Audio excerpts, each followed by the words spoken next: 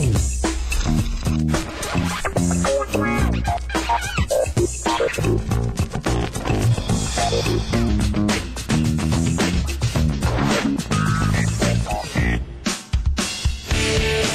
is one happy family, having a love-filled happy meal together at the dining table of warmth. And this is a reality check.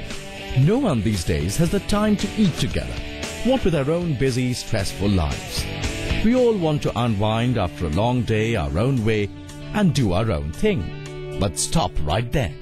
When we eat while watching TV or reading, we tend to overeat because we help ourselves to bigger portions because God forbid we get up to fill our plates when Tom Cruise is about to save the world. So go back and keep some traditions just the way they were because that's how they make sense. Eating together is only step one. Now it would help if the food we were eating was actually healthy. Because remember, lean is in. Though there is actually something known as taking it too far. Very funny guys, very funny. Can I get the real food please? Can you bring out the real food? Hello? Real food please, here. Oh, they can't be serious. Well, never mind.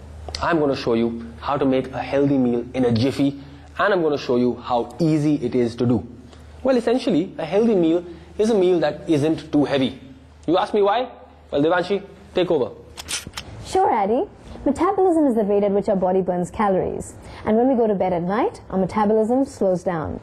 And since we're not doing much work at that time, all the surplus calories that we have get stored as fat. So it's really important that our dinner be light and healthy.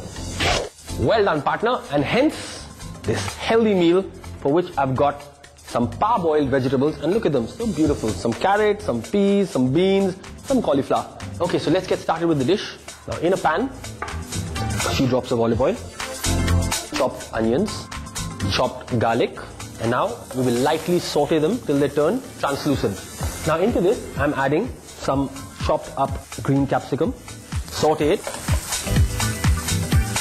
Right, now into this goes my parboiled vegetables.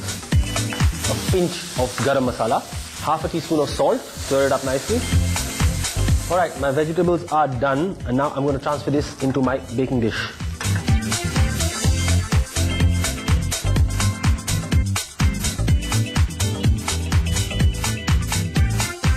Now for a very quick tomato gravy. Into the pan, a couple of drops of olive oil, chopped garlic, some finely chopped tomato. Let it take on a little bit of color. Pinch of salt to taste. Some finely grated paneer.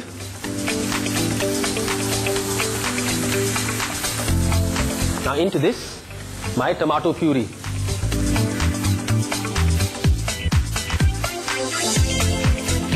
And now you just need to let this cook out for about 5 minutes. Okay, my tomato and paneer gravy is ready and now I'm going to pour it over my vegetables. Now to pour them on. Now we'll just top it off with the remaining grated paneer and a little bit of fresh coriander. And I'm going to pop that in the oven for not more than 10 to 15 minutes because everything is already pre-cooked and I just want all the flavors to come together and the vegetables to get a little more soft but maintain their crunch.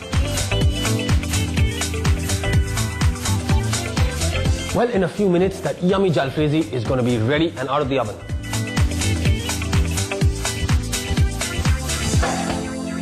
Well, there you have it. The paneer is nicely browned. As you can see, everything is nicely come together. And this should be really delicious for a nice and healthy dinner.